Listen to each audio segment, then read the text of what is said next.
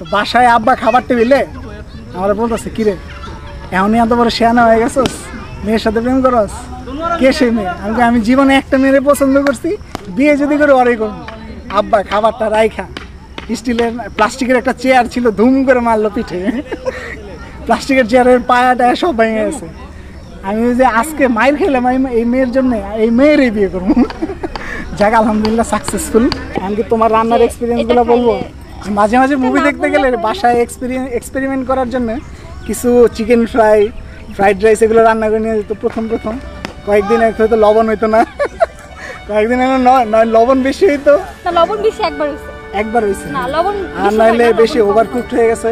যাই যাই হোক আমি আরে আমারই তো। মানা এটা নেই। তোমার নামের রোদ্দুরে আমি ডুবেছি সমুদ্রে জানি না যাব কদ্দরে এখনও।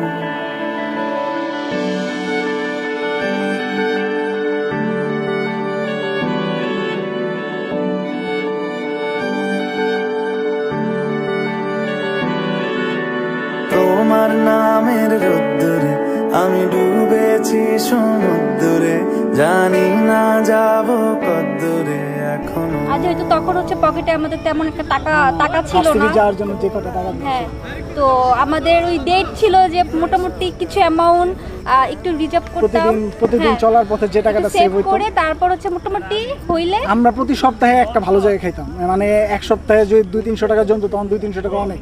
দুই হাজার এগারো বারো সালে দুই তিনশো টাকা মানে কি? অনেক কিছু। তখন একটা ভালো জায়গায় আমরা খাইতাম। যে আজকে একটু ভালোভাবে খাওয়া দাওয়া করব আজকে একটু ভালোভাবে ডেটে যাব অথবা কিছু কেনাকাটা করব হ্যাঁ আমরা দুই তিন মাস পর পর একটা মুভি দেখতাম। তখন আমরা প্রচুর মুভি দেখছি। তখন আমরা প্রচুর মুভি দেখছি প্রচুর। সিনেপ্লেক্সে Hobbit series pirates of the Caribbean series fast and furious series সবসময় টিফিন নিয়ে আসতো। টিফিন বলতে ফ্রাইড রাইস মানে মা হচ্ছে ওকে সবসময় দিয়ে দিত। আমি সকালে ব্রেকফাস্ট করতাম না। আমি কি করতাম? আমার বাসা হচ্ছে রুটি আর ভাজি আর ডিম ভাজি ওইটা ওকে খাওয়াইতাম। আর ওর বাসা থেকে যেগুলা ওগুলো আমি। আমি ওর একটুকু দিতাম না। আমি বসেই থাকতাম, আমি কখন যাব, বাসের মধ্যে উঠে খাওয়া দাওয়ার পরে ঘুম। যাইতেও ঘুমাইতাম, আসতেও ঘুমাইতাম। তাই না?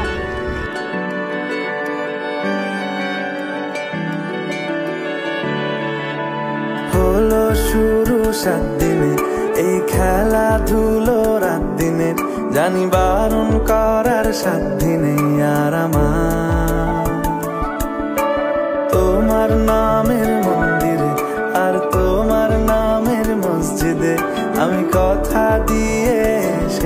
বারবার। সুপ্রিয় আমি এক্সাম প্রত্যেকটা এক্সাম শেষ করে আমি ওর জন্য দাঁড়ায় থাকতাম। হ্যাঁ এবং মানে কমার্সের পরীক্ষা হতো অন্য জায়গায় আর সায়েন্সের তো পরীক্ষা অন্য জায়গায় হতো। আমি বের হয়ে ফার্স্ট একটা ফেস আমার সামনে থাকতো দাঁড়ায় দেখতাম দাঁড়ায় আসতো মানে ঠিক এইভাবে দাঁড়ায় আসতো আমার জন্য। মানে তখন সব ফ্রেন্ডরা তাকা থাকতো কি ব্যাপার ও তো পরীক্ষা দিয়ে নিচে যাবে ও কেন তোর ক্লাসের সামনে দাঁড়ায় আছে? হ্যাঁ ও সায়েন্স বিল্ডিং এর সামনে কেন দাঁড়ায় আছে একদিন আর কি আমার সব ফ্রেন্ড সার্কেলে ও ছিল। তো সব ফ্রেন্ড সার্কেলে চলে আসছে, ও আসে না। ও আমার, আমি ফোন দিলাম, কী ব্যাপার, তুমি কই? যেহেতু আমরা সবাই একসাথে যাই, একটা মেয়ে একা, তো বলল যে, আমি তো একটু প্রবলেমে পড়ছি, আমার একটু দেরি হবে। আমার ফ্রেন্ড সার্কেলে বলতো ঠিক আছে, তাহলে আমরা চলে যাই, অনেক থেকে থাকবি? আমি বললাম আচ্ছা ঠিক আছে, আমি একটু ওয়েট করি। এক ঘণ্টা গেল, দুই ঘণ্টা গেল, প্রায় তিন ঘণ্টা পর সে আসছে। সে আসছে, আসার পরে বলল কি হইল, একটা পার্সোনাল প্রবলেম ছিল। তখনই আমার মানে আমি কেন যে তিন ঘণ্টা ওয়েট করল, আমি নিজেও জানতাম মনের গভীরে ঘুমের শরীরে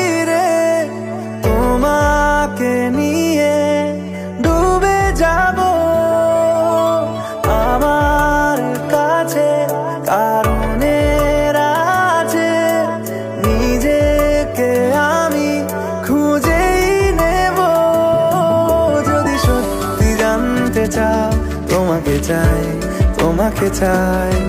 যদি মিথ্যে মানতে চাও, তোমাকেই চাই। যদি সত্যি জানতে চাও, তোমাকে চাই তোমাকে চাই। যদি মিথ্যে মানতে চাও